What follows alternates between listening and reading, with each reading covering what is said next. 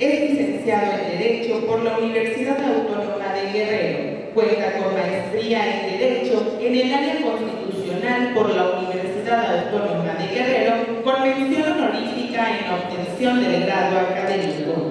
Es catedrático en la Universidad Nacional Autónoma de México en las asignaturas Historia de Derecho Mexicano, Garantías Constitucionales y Teoría General del Estado y Derecho Romano 2 los reconocimientos otorgados se tienen por la Coparmex Delegación Chilpancingo por el manejo transparente de los recursos públicos durante el periodo de gestión en la Secretaría de Educación Guerrero, designación por la Secretaría de la Función Pública y la Auditoría Superior de la Federación como integrante del Grupo de Trabajo sobre Transparencia del Sistema Nacional de Fiscalización.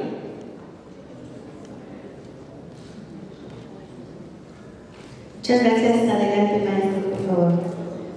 Gracias. Muy buenas tardes a todos. Perdón que vaya a dar un poco la espalda. Que Los Ángeles dicen que no tenemos, entonces no es de tanto. Pues antes que nada agradecerle a esta asociación Merayaf quien nos está invitando. Es un gusto estar, un privilegio estar frente a ustedes con este tema que es eh, importante, que es nuevo, eh, no en el país, es eh, pues nuevo, podría decirles que en el mundo entero, que es evaluación al desempeño y creo que eh, va muy relacionado con la presentación que acaba de hacer el rector, a quien le agradezco también como siempre la recepción que nos hace en cada uno de sus eventos. Pues vamos a, vamos a iniciar con esta presentación. miren, en cualquier aspecto de la vida es muy importante podernos evaluar. No podemos mejorar algo si no es evaluado.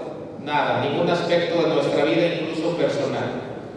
Por eso, incluso los competidores, los atletas, los deportistas de alto rendimiento, como les llaman ahora, pues siempre están sujetos a una evaluación. En todo momento, un atleta, alguien que corre 400 metros con valla, como el que estamos viendo aquí, y que pretende competir en alguna Olimpiada o en algún Mundial de Atletismo, permanentemente, cada vuelta que da, cada vuelta que da ese circuito, está evaluando, está midiendo el tiempo, trata de ser mejor a partir de eso. A partir de que si los resultados no son los esperados, pues quizás está fallando en el aspecto de la alimentación, quizás está fallando en el aspecto de la preparación física. Entonces, la evaluación como eh, ustedes ya saben, es un proceso de valoración de las condiciones, situación o acción y proporciona información útil para la toma de decisiones. Creo que esa es la parte fundamental de la evaluación, que nos proporciona información vital para que podamos tomar nosotros decisiones. Adelante con la siguiente lámina. Bien, ¿cuál es el objetivo de la evaluación? Y tiene mucho que ver esto que voy a decirles con lo que acaba de informar el rector y con lo que aquí se comentaba. El objetivo de la evaluación, menos en materia de desempeño, tiene la finalidad de que se pueda maximizar los recursos públicos, que podamos lograr más con menos, podamos identificar áreas de oportunidad y subsanar se fijan aquí, tenemos cinco piedras y una piedra del otro lado. Y es más fuerte que una piedra. ¿Por qué? Porque están maximizando, están maximizando los recursos públicos. Otros aspectos es la obtención de los fines. Bueno, por supuesto que el tema, el objetivo de la evaluación es cumplir con las metas y objetivos. Nos hemos trazado un objetivo de entregar becas a los estudiantes ¿Y qué buscamos? Primero habrá que identificar bien nuestro objetivo. Que a veces eso nos pasa en la administración pública. No definimos un objetivo y al no definir de manera clara nuestro objetivo, indudablemente los resultados no van a ser los esperados ni por nosotros ni por la población objetivo a los que iba destinado una política pública en particular. Entonces, la obtención de los fines es otro de los objetivos de la evaluación. La eficiencia en la asignación de los recursos. Buscamos la eficiencia en, el ejercicio de los recursos públicos. Yo siempre, eh, incluso los temas de eficacia y eficiencia los encuentro bastante particulares, o sea, bastante hasta sinónimos parecerían. Sin embargo, la eficiencia, como todos sabemos, tiene que ver, aborda el aspecto del aprovechamiento de los recursos públicos. Entonces se busca ser eficiente en el ejercicio de los recursos públicos. Eso es lo que se busca. Y la consecución de los objetivos. El objetivo de la evaluación. Realmente eso es lo que está buscando, ese es el objetivo de evaluarnos. Estos son cuatro aspectos fundamentales. Insisto, en conclusión, el objetivo de la evaluación es poder hacer más o menos o más, para que nadie se espante, más con lo que ya se tiene. No porque nadie aspira pues, a que el presupuesto no lo reduzca, pero bueno, que podamos hacer más con lo que ya tenemos. Adelante, la siguiente. Bien, ¿cuáles son los antecedentes de la evaluación al desempeño? Pues, para variar, fueron nuestros vecinos del norte los que, una vez que terminó la, la Primera Guerra Mundial, tenían una cantidad de oficiales en el ejército muy importante. Ustedes saben, en el ejército pues hay determinados rangos, tropas, oficiales, jefes, generales, ellos se les generó una cantidad de oficiales muy importante y no sabían qué mecanismo tomar para poder ir ascendiendo a jefes a esta cantidad tan importante de oficiales que tenían, pero que además este ascenso garantizara que realmente esos cargos los fuera ocupar, los fueran ocupar personas que se distinguieran por sus capacidades. Queremos tener el mejor ejército del mundo, dijo Estados Unidos en su momento, y tenemos muchísimos oficiales, muchísimos oficiales. Van a ascender a jefes y ellos van a tener a su mando una cantidad importante de tropas. Necesitamos que los que asciendan sean los mejores.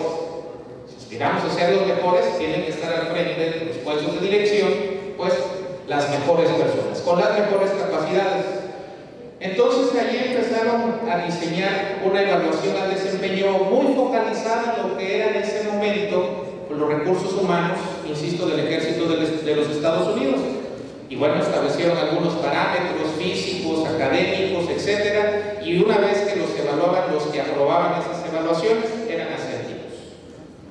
Pasó un tiempo, eh, la iniciativa privada en Estados Unidos se dio cuenta del potencial de este tema y lo empezó a utilizar para el reclutamiento y el ascenso también de las personas que pertenecían a determinada empresa, a determinado sector, del, eh, a determinado ámbito del sector privado. Entonces, esto de evaluación al desempeño, que yo entiendo y lo digo porque me pasa mucho, eh, sobre todo con las entidades que fiscalizamos, pues se lo debemos también, deben de darle gracias a nuestros vecinos del norte, a los que les toca integrar la información de evaluación al desempeño que pedimos en la Auditoría Superior del Estado, siempre que le estén integrando, por favor no se acuerden de mi mamacita, porque seguido se acuerdan de ella, mejor acuérdense de quienes viene esto, que es de los, de los gringos, ¿no? Eh, adelante, por favor. Bien, nuestros antecedentes en México, pues en México es más incipiente aún, 1976, hace 42 años exactamente, se cambia eh, la ley, se crea la ley de presupuesto, contabilidad y gasto público la primera vez. Hasta ese entonces, imagínense, hasta 1976 habíamos venido manejando el presupuesto por objeto del gasto únicamente. Si hay alguien aquí de la vieja escuela se acordará, únicamente por objeto del gasto manejamos el presupuesto. Pero en 1976, cuando el presidente era José López Portillo, la ley de presupuesto y contabilidad, contabilidad y gasto público ya estableció por primera vez el presupuesto por programas. Y en consecuencia, esto obligaba a definir los objetivos y las metas del presupuesto. Entonces, es el primer antecedente que se tiene en México de este tema de evaluación del desempeño. 1976, insisto, con este cambio a la ley que ya establece metas y objetivos. Más adelante vamos a ver por qué son importantes estas metas y objetivos. Vamos a ver la finalidad eh, de las auditorías al desempeño y me voy a permitir eh, abordar el tema desde esta perspectiva en función del el cargo que nosotros realizamos y de los procesos de fiscalización que en esta materia también realizamos. ¿Qué buscamos cuando nosotros hacemos una auditoría al desempeño. Lo que buscamos primeramente es evaluar aspectos adicionales a la auditoría financiera. Eso es lo primero. O sea, cuando nosotros vamos a evaluar desempeño es una circunstancia distinta a una auditoría financiera. Veces se confunde esta parte y nos dicen, oye, ¿por qué tú me estás, eh, no me estás pidiendo el ejercicio del gasto y me estás pidiendo los indicadores de determinado programa? Porque es una auditoría de evaluación al desempeño. Incluso fíjense lo curioso, las auditorías, no lo digo yo esto sí, siendo teóricos, la auditoría de evaluación al desempeño no prioriza actos de corrupción. No es su prioridad los actos de corrupción. Cuando vamos a evaluar el desempeño, vamos a calificar al ente que también está haciendo las cosas, que tan bien está alcanzando sus metas y objetivos. Por supuesto que si en el transcurso de la auditoría identificamos un acto de corrupción, tampoco se deja pasar por alto, puesto que se da vista a la auditoría correspondiente y se inicia un proceso de carácter independiente en su caso. Pero no es su prioridad, insisto, en las auditorías de evaluación al desempeño los actos de corrupción. No, vamos a calificar la eficiencia, la eficacia de la aplicación de las políticas públicas en una entidad, en este caso, por supuesto que pública. Entonces, el siguiente es verificar el cumplimiento de los objetivos. La parte que ya mencionamos. Vamos a verificar qué tanto estás cumpliendo. Regreso al ejemplo de las becas. A ver, ¿cuál es la cantidad de becas? ¿Cuál es el objetivo que te estás trazando primero? El otorgamiento de 100 becas a determinado sector de la población. Y lo que busco con el otorgamiento de estas becas es que estos jóvenes de entrada no vayan a desertar, no se vayan, no vayan a dejar la escuela, continúen estudiando. Pero el segundo punto que busco es que eleven el aprovechamiento que ellos tienen. Si actualmente tienen un aprovechamiento escolar destacado, pues se supondría que con la beca tendrían que mejorarlo. Ese es el objetivo principal. Entonces, cuando nosotros lleguemos a revisar evaluación al desempeño, si dentro de esta revisión tocó este programa de becas, vamos a revisar si realmente se está cumpliendo el objetivo. Y aquí yo quiero hacer una reflexión, miren, es bien importante que cuando ustedes tracen sus objetivos, sus metas, su misión, su visión, toda esta parte dogmática, esta romántica, podría yo decirle, eh, tengan ustedes muy claro que es a partir de ahí como se les va a evaluar a ustedes. A partir de esos objetivos, a partir de esa misión, a partir de esa visión, es como cualquier auditoría en materia de desempeño, es decir, bueno, pues si esta es tu misión, si esta es tu visión, si estos son tus objetivos, muéstrame ahora el cumplimiento. En base a tus indicadores, porque también luego se piensa que los indicadores en una auditoría de evaluación al desempeño los debe de llevar el auditor. Los, auditores, los indicadores los deben de generar las mismas las mismas entidades fiscalizadas. Bien, evalúa el resultado de las políticas públicas. Pues vamos a ver si realmente estas 100 becas que se dieron sirvieron para elevar el aprovechamiento escolar de esta población objetivo. Vamos a ver si estas 100 becas que se dieron ayudaron a que estos alumnos continuaran sus estudios y obtuvieran un grado. Se graduaran de la prepa, licenciatura, eh, posgrado, etc. Vamos a evaluar eso porque podemos tener y podemos nosotros creer que tenemos la mejor de las políticas públicas y que podemos estar generando el mayor de los beneficios a un sector muy particular de la población. Pero los números son fríos. Los números no mienten. Si identificamos que en esta entrega de becas, pues de entrada los muchachos que lo obtuvieron, lejos de elevar su nivel académico, lo disminuyeron, si de estos 100, 50 desertaron de la escuela, algo nos está pasando, algo no está caminando bien. Tendríamos que verificar nuestros objetivos, tendríamos que verificar nuestras metas. Y aquí entra una parte muy importante en la evaluación al desempeño, que tiene que ver con la evaluación del ciudadano, de la población objetivo. Esa es otra finalidad de la auditoría del desempeño. Utilizamos muchas veces encuestas o cuestionarios para ir y preguntarle a los muchachos, en este caso, y regresándome al tema de las becas, si realmente está cubriendo las expectativas que este programa tiene para con él en lo personal. Entonces, ahí empieza a haber una retroalimentación. Ya no nada más son decisiones unilaterales, sino que empieza a haber una retroalimentación con la población objetivo. Y lo otro es la congruencia entre lo propuesto y lo alcanzado. Hace un rato escuchaba al rector Javier Saldaña hablar sobre el tema de los posgrados y decir que de 10 se ha transitado a 30 y que ha rebasado las metas. Si hubiese una auditoría de evaluación al desempeño al, al respecto, seguramente sería muy fácil identificar la congruencia entre la información que se está dando, porque ahora mismo hay Pero si de 10 hubiéramos pasado a 5, pues estaríamos, estaríamos identificando lo contrario. ¿De acuerdo? Adelante. Bien, la gestión pública, miren, eh, pues yo pertenezco a la administración pública, es por todos sabidos que todos los que pertenecemos a la administración pública, y cuando digo todos es todos, ya con pertenecer, con tener un cargo de responsabilidad, pues la ciudadanía no tiene el mejor de los conceptos de nosotros. Aún y cuando eh, la actividad que uno realice trate de realizarla no nada más con pasión, no nada más con mucho corazón, sino que trate de hacerla pues, apegado a la ley y tratando de hacer las cosas, que las cosas mejoren. Hay una desconfianza ciudadana muy particular y lo primero que se dice es, bueno, lo que pasa es que tú nada más vas, te sientas, esperas que den las 3 de la tarde, más, antes de las 3 de la tarde ya estás formado, checas y te vas.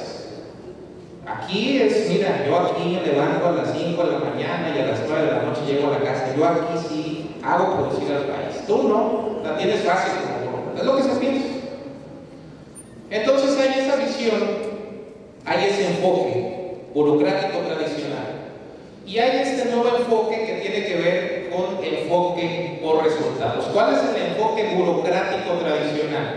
Se enfoca en sus propias necesidades y perspectivas. Voy a implementar esta política pública y no me importa, acepten. Vamos a entregarle becas a agentes que tengan un nivel económico alto.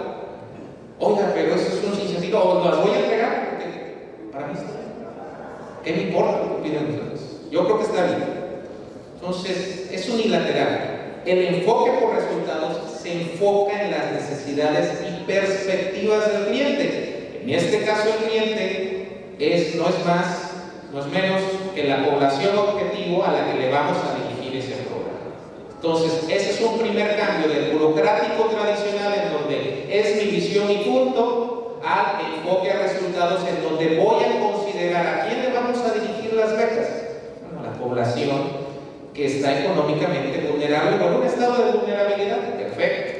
Esa va a ser, vamos a ver cuáles son las necesidades, quién necesita ese apoyo. El siguiente se define a sí mismo por el monto de recursos que controla y por el número de tareas que desempeña. En un enfoque por resultados se define por los resultados que alcanza para la satisfacción del cliente. La primera únicamente sigue siendo personal, yo ya cumplí mis metas y listo, no me importa lo que digan los demás. El enfoque por resultados siempre vamos a estar pendiente de cuál es el resultado con mi población objetivo. Oye, mis jóvenes sí están contentos con la beca, está funcionando muy bien, elevaron el nivel de aprovechamiento. Es más, ya termina la licenciatura e inician el posgrado en automático. Es lo que se está buscando. Adelante. Viene del enfoque tradicional el control de costos y en el enfoque por resultados la creación de valor, neto sobre los costos. En, algún, en el burocrático tradicional es pues, con que ejerzamos bien el recurso, ya con eso, pero se broncas, ejercerlo bien y con eso tienes. El enfoque por desempeño es no nada más ejércelo bien, maximízalo, Trata de obtener más con ese mismo recurso. Aprovecha el recurso que tienes para que te sirva para más. Esas son las diferencias. Si me explico, relación al desempeño va más allá, pues. no se queda nada más en lo personal. Adelante. Bien, en el burocrático tradicional, la actividad rutinaria, ¿no? lo que ya decíamos y lo que se piensa mucho de la actividad del servicio público, que es una actividad rutinaria donde uno llega, checa, se sienta, ve unos videos, eh, YouTube, ve el Face, a las dos y media, se levanta, checa y se va. En el enfoque por resultados, modifica sus operaciones en respuesta a las cambiantes necesidades de la población objetivo del cliente. Se hace un rato también el rector, ya tenemos becas para el, el sector indígena, para personas con alguna discapacidad, han ido encontrando necesidades y han estado atendiéndolas. Pero si él tiene su programa de becas y no lo no voltea a ver cómo van sus metas, cómo están, cuál es el grado de cumplimiento con sus objetivos, se va a seguir por ahí. Jamás va a tomar la decisión de, oye, ampliemos eh, las becas, segmentémoslas por región, en vulnerabilidad, etcétera, etcétera. Bien, adelante. Y eh, pues bueno, en este tema, en el tema burocrático tradicional, procedimientos inflexibles, no hay manera. Esto ya es así y no le muevas, no podemos cambiarlo, ya es como es. Y el otro va construyendo sus decisiones en su sistema de operación para la mejora continua. Y creo que aquí, pues todos los que están certificados en ISO me habrán de dar razón, porque el sistema de gestión de, la calidad, que por cierto les puedo presumir que la auditoría hace no menos de un mes acaba de obtener la ISO 9001-2015 también, no queriéndonos quedar atrás con las pocas instituciones en el Estado que tenemos esa certificación. Y bueno, en, en este tenor siempre lo que se busca es estar identificando cuáles son las áreas de oportunidad de acuerdo a los objetivos trazados y tratar de corregirlas. Evaluación al desempeño siempre va a ser un tema dinámico, siempre va a ser un tema dinámico, siempre va a estar uno pensando en cómo ser mejor. Adelante. Bien, el anuncio de políticas y planes, que esto es muy importante. La burocrática tradicional, que anuncio mis políticas y planes. Nada más te los anuncio. En el enfoque al desempeño te voy a tomar en cuenta. Vamos a retroalimentar. Voy a preguntar a ti, adulto, a ti, maestro, a ti, trabajador administrativo, ¿qué quieres? Voy a escucharte para que en base a esto yo pueda trazar mis políticas públicas. En la otra no, en la otra es una visión unilateral acá, punto. Adelante. Bien, miren, eh, una parte que está muy relacionada con la evaluación es el tipo de análisis. Y yo soy un creyente que si nosotros fuéramos un poquito más analíticos, pues seguramente en algunos casos nuestra circunstancia fuera distinta. Y lo digo hasta en el ámbito personal, cuando tenemos en el caso de los caballeros, una novia, y pretendemos pensamos que la novia ya es la indicada para casarnos y formar una familia, porque el corazón es el corazón.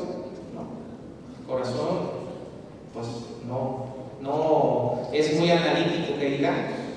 Pero si nosotros entráramos a un análisis, y en el caso de los caballeros pensáramos, a ver, vamos a hacer un análisis de mi novia con la que pretendo casar.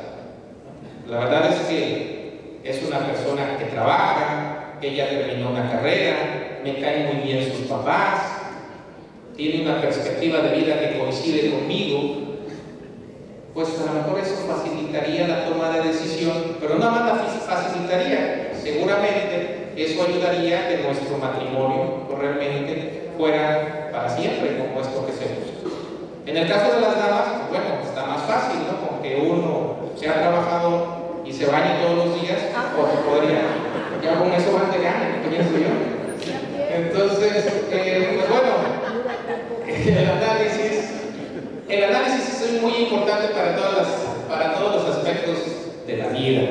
En el tema de evaluación al desempeño tenemos tres tipos de análisis. Descriptivo, calificativo y explicativo. Descriptivo, conocer las principales características del fenómeno que se pretende evaluar. Nosotros cuando vamos a hacer una auditoría, cualquier tipo de auditoría, pero particularmente en materia de desempeño, lo primero que le pedimos al ente incluso antes de iniciar la visita domiciliaria, mándame toda tu documentación normativa, mándame tu programa operativo anual. Tengo que revisar cuáles son tus facultades, cuáles son tus obligaciones, qué actividades te fijaste como las que vas a estar realizando y cuál es la fecha que le diste a cada una. ¿Cuáles son los indicadores que te estableciste? Eso es lo primero que nosotros realizamos. Y eso tiene que ver con el análisis descriptivo. El calificativo es medir el alcance de un objetivo, meta, acción o condición con respecto a un parámetro determinado. Ya decíamos, y regreso al tema de becas, ok, si se están entregando las 100 becas, vamos a ver si esas 100 becas están para la población objetivo y están dando los resultados que nuestras propias metas tenían establecidas. ¿De acuerdo? Y el explicativo, que es determinar las causas que generan dicho alcance, tanto positivas como negativas. ¿Estamos eh, alcanzando nuestras metas o no las estamos alcanzando? Pues habría ahí que hacer un análisis explicativo para decir cuáles son las razones de una u otra. Adelante, por favor. Bien, creo que eh, vamos a los indicadores, que es una parte también esencial en materia de desempeño, pues todo esto lo vamos a poder ir evaluando a partir de los indicadores. Eh, el indicador que es unidad que permite medir el alcance de un objetivo durante el proceso de evaluación. Está compuesto por una o más variables. Tiene como finalidad medir el alcance logrado y se expresa cuantitativamente siempre. Bien lo dijo el rector hace. Siempre el indicador se va a manifestar cuantitativamente. ¿Qué les puedo decir en cuanto a indicadores en la práctica? Que muchas veces llegamos a algún ente y ya se tienen indicadores, pues la verdad es que están del otro lado, porque regularmente no los tienen. Pero cuando los tienen, a veces nada más tienen un indicador y me dicen, no, pues aquí está mi indicador. Oye, no puede ser un indicador, necesitas tener un indicador por cada una de las actividades que realizas, si no, ¿cómo te vas a evaluar? Sino cómo estás midiendo. Y recordemos un tema muy importante que omití decirles hace un momento. Todo ente público, no porque lo diga el auditor de Guerrero, todo ente público, por norma constitucional, por disposición constitucional, debe contar con un sistema de evaluación al desempeño. No olvidemos que en 1982 les decía también se modificó el texto constitucional 134 constitucional, tres principios fundamentales que desde ahí traemos, eficiencia, eficacia y honradez en ese momento era 134 constitucional. Entonces, el tema de tener un sistema de evaluación en cualquier ente público, pues no es una concesión, no es decir soy innovador, es simple y sencillamente el cumplimiento a la ley. Adelante. Bien, pues estos son los tipos de indicadores que tenemos. Voy a tratar, de construir un ejemplo práctico, más que, más que darles las definiciones. Son cuatro tipos de indicadores de impacto, de producto, de proceso y de resultados. Pensemos, todos conocemos las campañas de vacunación, ¿estamos de acuerdo? Cada año hay campañas de vacunación y ha sido considerado de las cosas muy exitosas en el país. Apenas leí una estadística que este tema de la poliomielitis está a punto de erradicarse. Digo, yo tengo como, no tengo tantos años como aparento, pero recuerdo que cuando estaba niño todavía era un problema la polio. O sea, todavía yo conocí, tuve compañeros que sufrieron de, polio y entiendo que este tema son de las cosas positivas que existen en el país y han venido erradicando. Pensemos en una campaña de vacunación. ¿Cuál sería el indicador de impacto en esta campaña de vacunación? el indicador de impacto es la esperanza de vida? ¿Cuál es la esperanza de vida que yo voy a darle a una persona que sea beneficiada con una vacuna? Seguramente lo que voy a buscar pues, es que la esperanza de vida incremente. ¿Me explico? Eso es lo que será. Ese será mi indicador. Porque actualmente mi esperanza de vida es con esta campaña de vacunación la esperanza de vida espero que aumente a eso. Ese es un indicador de impacto un indicador de resultados, la disminución de morbilidad. Sería lo mismo, pero no lo es. Necesito que haya menos muertes por este padecimiento. Al día de hoy se presentan al año tantas muertes por esta circunstancia. A partir de que voy a implementar esta campaña de vacunación, yo busco que la movilidad disminuya en este porcentaje y habrá que evaluar si realmente cumplí el objetivo. El siguiente, que tiene que ver con el indicador de producto, ¿cuántos niños vacunamos?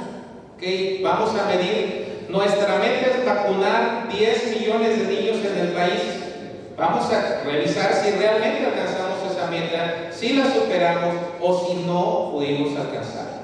Es un indicador de producto. Y por último, un indicador de procesos que tiene que ver con las acciones de vacunación. Ya la logística de la campaña en sí, y aquí podríamos hablar ya de muchas cosas como médicos, enfermeras, eh, transporte, etc. Estos son eh, cuatro tipos de indicadores que tenemos y que son muy importantes en todo, en todo este público, no nada más público, pero particularmente los públicos que los tomemos en consideración. Adelante. Bien, voy a poner ya eh, rápidamente eh, algunos casos prácticos de algunos hallazgos que nosotros identificamos en el tema de evaluación al desempeño. Eh, tenemos, pues bueno, aquí podemos ver una universidad como las que tenemos en nuestro país, puede ser cualquier campus aquí de México.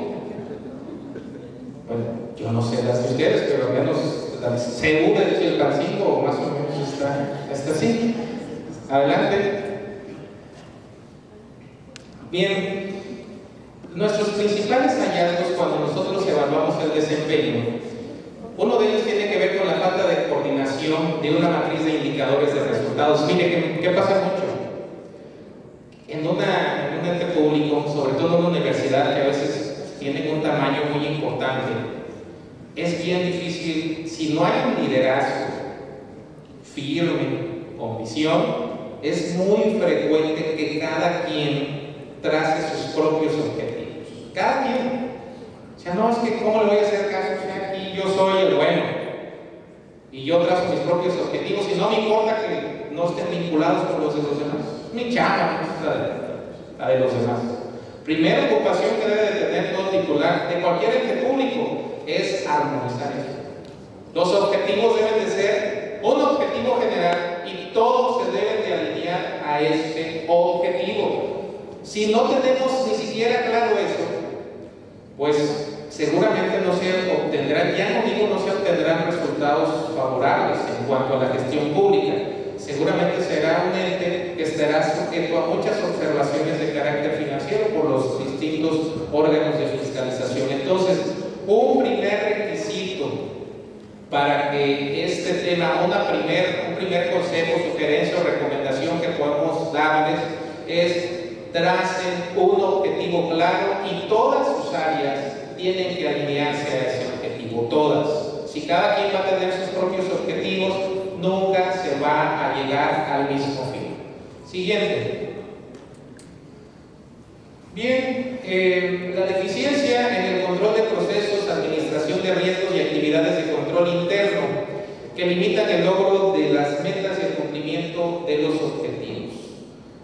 Miren, aquí lo que pasa muchas veces es que hay muchas deficiencias en procesos, o no tanto que hay deficiencias, a veces ni se tienen.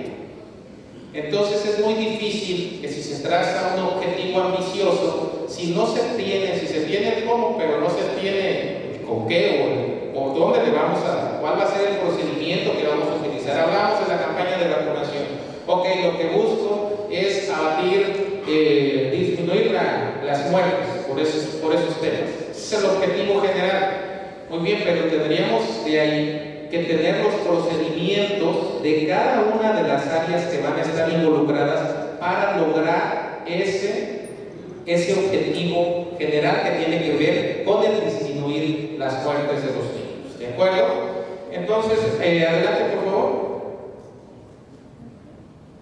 El siguiente es la falta de implementación de un sistema de evaluación del desempeño, que es justo lo que ya mencionábamos. El sistema de evaluación del desempeño, lo del desempeño no es una concesión, es simple y sencillamente cumplir con un mandato legal, así que en ese sentido, pues bueno, yo sí exhorto a todos, a todos que podamos tomar con mucha seriedad este tema, porque de verdad es que son eh, todas las auditorías que realizamos en materia de desempeño y le pasa lo mismo a la propia Auditoría Superior de la Federación, porque lo hemos compartido en reuniones nacionales, pues siempre en materia de desempeño realmente se tiene un gran campo eh, por construir, un, un, tema que está eh, pues incipiente y si nosotros revisamos pues tiene que ver justo con la evaluación de lo que nosotros realizamos. Entonces sí lo dejaría para la importancia de contar con nuestros propios sistemas de evaluación del desempeño. Además, quien no cuenta con ellos, insisto, pues en automático se va para observación.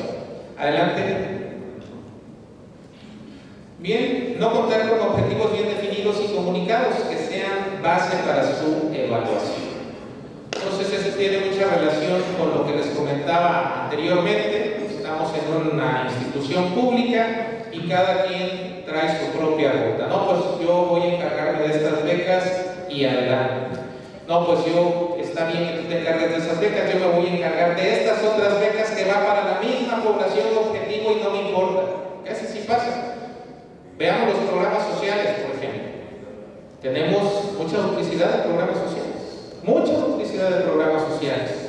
Entonces, eh, entiendo que también de lo que he escuchado de esta nueva administración es que se va a hacer un padrón único de beneficiarios en cuanto a programas sociales y que bueno, porque les digo, al final nosotros podemos eh, tener una política pública en la que le podamos estar eh, presupuestando una cantidad importante de dinero y eso no significa que está moviendo los indicadores. Eso no significa que realmente esté trayendo un beneficio para la población objetivo. Eso no significa que de verdad esté trayendo un beneficio para la institución que nosotros representamos. Entonces es muy importante, insisto, el poder, el entender y el ser eh, lo suficientemente humilde, a de decirlo así, para poder aprender a trabajar en equipo. Adelante. Bien, la falta de normativa interna que regule las funciones básicas institucionales. La normatividad interna es un problema también. No hay, no existe. Es muy raro la gente que llega, quizás nada más la Auditoría Superior del Estado de Guerrero puede llegar y pedirle sobre normatividad interna y la va a tener y la Universidad de Guerrero. Ah, eh, porque de verdad que adolecemos mucho de la normatividad interna. Oyes, ¿cuál es tu normatividad interna para tus procesos de, adjudicación? No, no, no tenemos. ¿Cuál es tu normatividad interna para el otorgamiento de becas? No, o sea, nosotros nos dijeron que repartieran los cheques, nada más.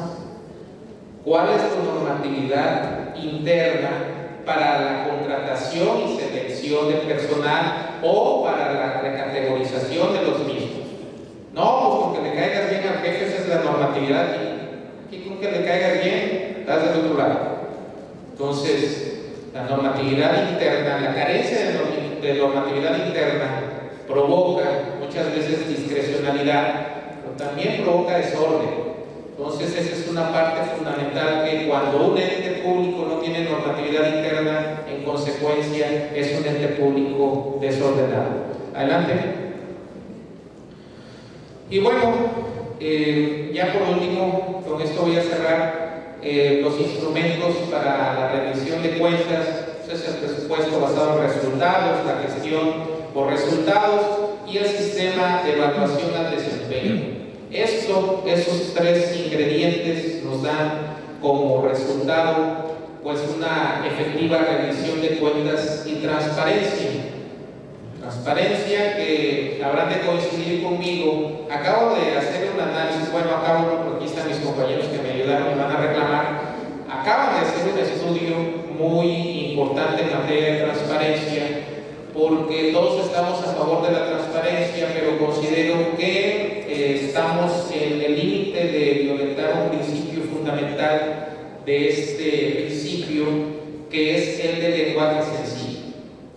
Tenemos una cantidad de obligaciones de transparencia eh, cada vez crecen más, tenemos obligaciones de transparencia de acuerdo a las leyes locales, obligaciones de transparencia por ley general de contabilidad gubernamental, leyes de transparencia por ley de disciplina financiera, ley de, bueno, obligaciones del portal aplicativo de Hacienda, obligaciones ahora del CEMAC, estamos eh, nosotros revisando a cada ente público que es el sistema de evaluación de contabilidad gubernamental.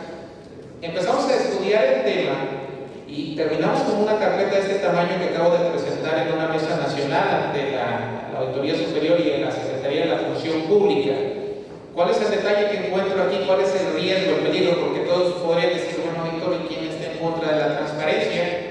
O sea, todos buscamos que las actividades de gobierno sean transparentes y yo soy el primero que impulsa ese tema. Sin embargo, tenemos tanta información y además es la misma información pero en distintas presentaciones. Entonces yo te voy a pedir un estado financiero, pero en algunos casos te lo pido con mayor nivel de desagregación, con otros menos. Te pido un inventario, en algunos casos te las voy a pedir de este, con este formato, ah, pero no, en materia de transparencia te lo pido distinto. ¿Y sabes qué identificamos? Que hay muchos entes que van muy bien en su información, pero como son cuatro o cinco formatos, ya cuando llegaron al quinto formato, se equivocan en la información. Y ya no hay congruencia en la información. Al final, si el presupuesto era de 100 pesos, 100 pesos en los cuatro formatos, pero en el quinto formato ya dijeron 10 pesos. ¿Por qué? Por la cantidad de información que estamos generando. Entonces, mi reflexión a nivel nacional sobre este tema es que debemos de quedarnos como una obligación de transparencia con la que abarque más. De hecho, viene el análisis en ese sentido y les dijimos, a ver, si en estados financieros la ley de disciplina financiera es la que lleva mayor nivel de desagregación, pues déjame este nada más. Ya no me pidas que te cargue aparte lo de la ley de transparencia y aparte que te cargue lo de la ley de contabilidad gubernamental, porque aparte es una inversión de tiempo importante para las áreas financieras y distrae recursos eh, o distraen recursos humanos sobre todo en otras actividades sustantivas para el área. ¿Están de acuerdo los que están buscando información financiera? Bueno, seguramente voy a estar dando lata con ese tema.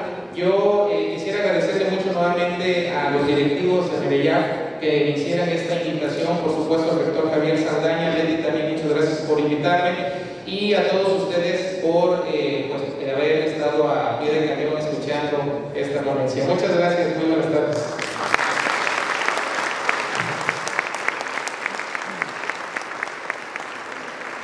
Muchas gracias, maestro Alfonso. Eh, muy interesante todo el planteamiento y efectivamente una de las conversaciones que teníamos antes de, entrar por aquí a, escucharlo tenía que ver con este punto de, las exigencias ¿no? que tenemos por un área, en otra área, y, y, pues llega un momento en el que precisamente es tanta la información y tanto el personal y el recurso que destinas a estar rindiendo cuentas, es exhaustivo y también digo, implica eh, recursos. Y bueno, sí habrá que hacer un trabajo importante en ese sentido para, para armar propuestas y que se escuchen, ¿no? Eh, con las personas indicadas.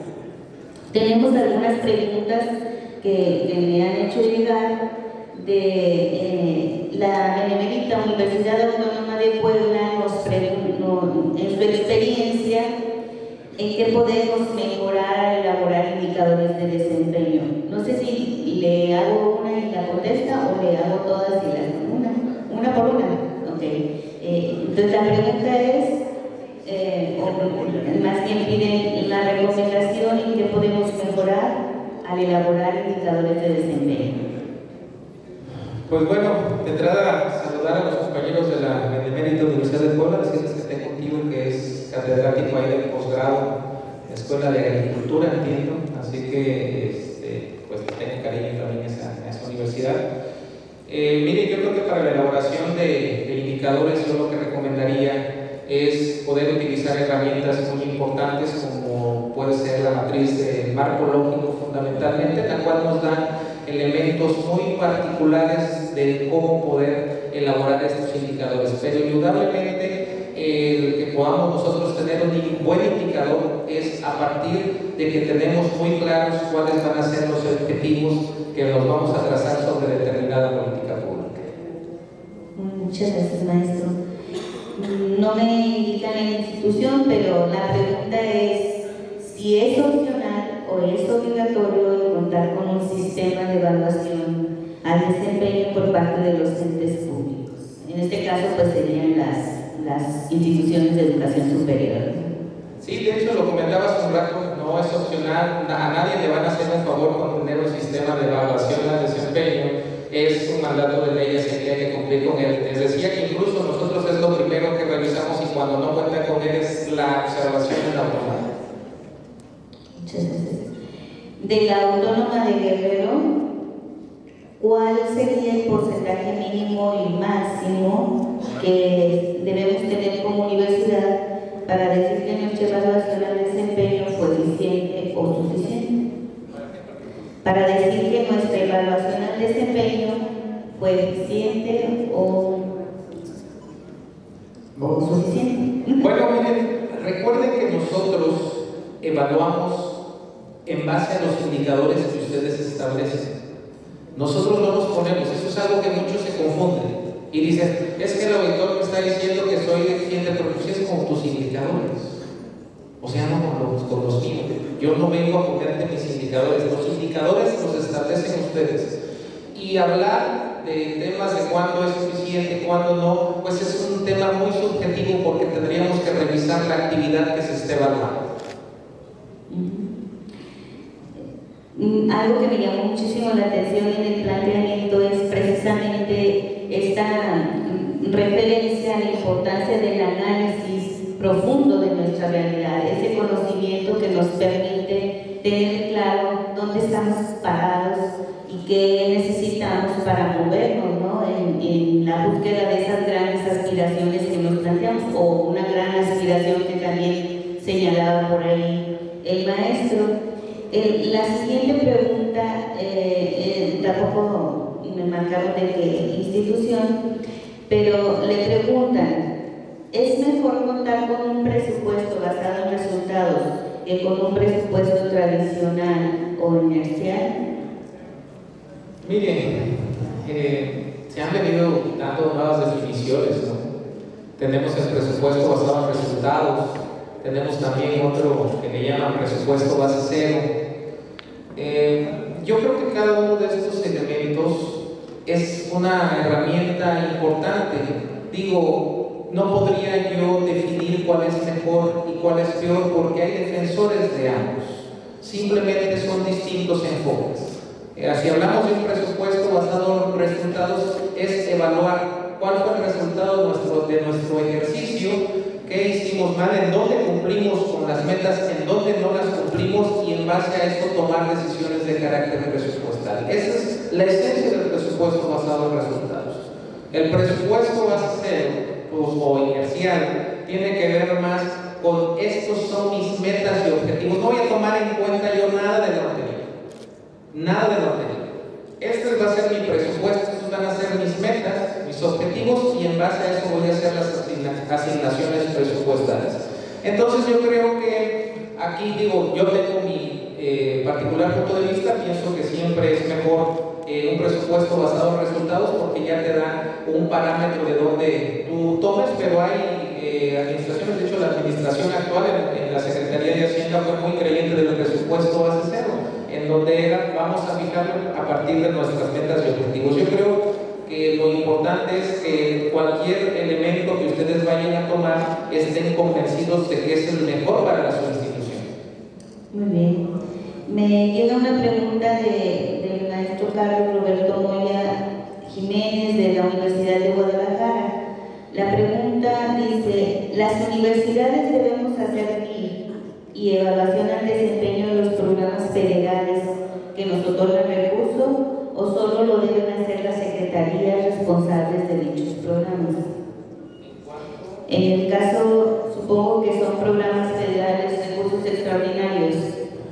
Bueno, por, no sé si es, eh, aquí la universidad, no sé si es un 080 o es el U006, creo que es, es, les, les ministran de manera extraordinaria, que es para atender contingencias económicas, que luego, luego le llaman así, en parte.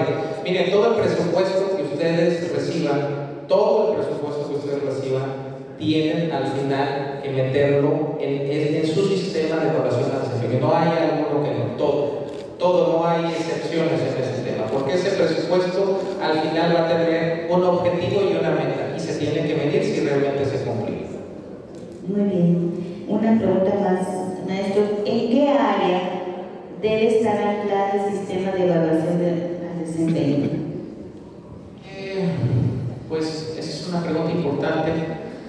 Eh, considero que es que dependiendo de la naturaleza del ente, una, una buena área para el sistema de evaluación indudablemente es el área de planeación. Muy bien. Pues no queríamos que dijera eso, ya lo sabíamos, de alguna manera teníamos ahí la preocupación. Eh, de hecho, justo comentarios que ha hecho el día de hoy, yo veía dibujado todo el ciclo, el proceso de planeación de las instituciones, ¿no? Partir del diagnóstico profundo de esa realidad, plantear tus propósitos claro, coordinar, que es una parte que todavía eh, estamos un poco cojos ahí en, algunas universidades, en coordinar los esfuerzos para tener claro el rumbo y, y caminar todos en el mismo sentido, ¿verdad? Entonces, si no hay alguna otra pregunta, eh, creo que por ahí me van a hacer llegar una más para pues, eh, pasar hacia el tiempo extra se cobra parte. Todavía estamos en el tiempo, maestro. estamos en el tiempo. Sí. Eh, de la autónoma de Guerrero. ¿Cuál es la estrategia que permite la aplicación de la evaluación al desempeño cuando existe resistencia en los actores del sistema educativo? Bueno, es que esa ya es una pregunta no técnica, más bien quizás un poco de contexto político, pero miren, si en algo estamos ayudando los órganos de fiscalización, eh, no nada más es en hacer observaciones, yo creo que estamos generando conciencia en los temas. Al final, el tema de desempeño, y quizás eso se deba que todavía no ha detonado como quisiéramos que detone, es una de las causas principales es que nosotros no podemos iniciar procedimientos por la falta de atención a, las, eh, a los hallazgos que nosotros identificamos en este tipo de auditorías. Estoy seguro, sin embargo, que ya los ejercicios que realizamos y las recomendaciones que emitimos en materia de desempeño están sensibilizando a cada uno de los servidores públicos a los que va dirigida y cada vez más estarán fortaleciendo este tipo de actividades, este tipo de sistemas y seguramente conforme vayamos avanzando y conforme se le vaya dando mayor pues, unibilidad, si me permiten, a este tipo de ejercicios, se habrá de crear un andamiaje ya todavía más sólido. Yo creo que mucho tiene que ver, mucho parte de que haya un convencimiento personal del titular del ente público de que un sistema de evaluación del desempeño es fundamental para poder tener una gestión en la administración pública exitosa.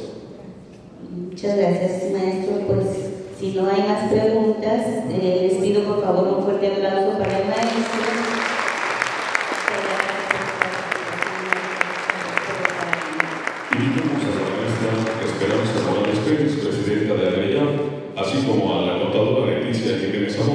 Tesorera general y coordinadora de este evento por parte de la UAGO, entreguen el reconocimiento al maestro Alfonso Damián Peralta, auditor superior del Estado de Guerrero.